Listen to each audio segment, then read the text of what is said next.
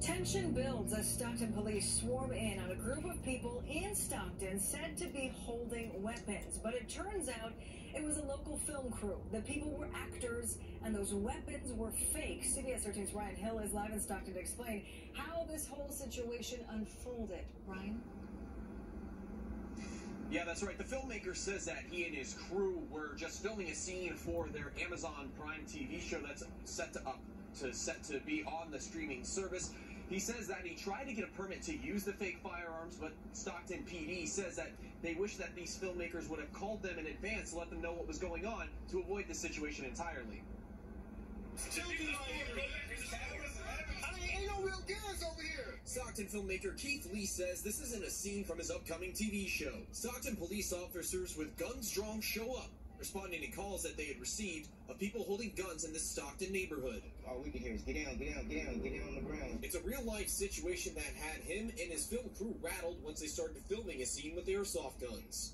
So we just obliged. All we just know, we, we know police voices, so we just laid down on the ground. Lea tells CBS 13 he got permission from the market owner to do the scene with the prop guns in front of his store. I've been raised in this neighborhood, going to that store for over 15 years, so I know the whole family of the store.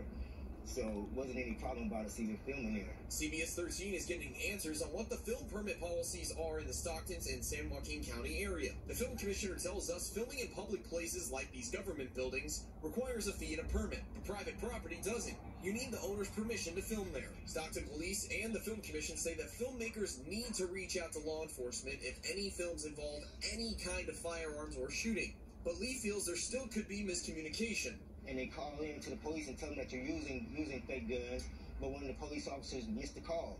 And he rides by and, and he didn't get that call about calling in, and he thinks it's something, and it could be an accident that way. I've worked here for 20 years, folks, and I've seen a lot of kids shot, a lot of kids hurt with a live gunfire. Lea says he's grateful the police sergeant was understanding during the high tension situation.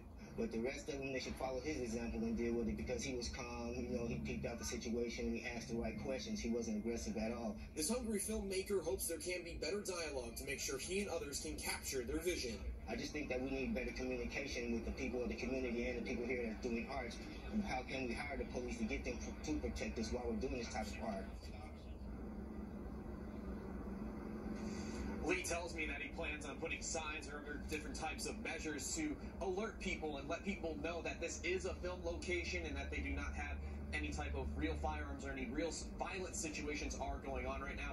He also tells me that no arrests or citations were issued during this incident.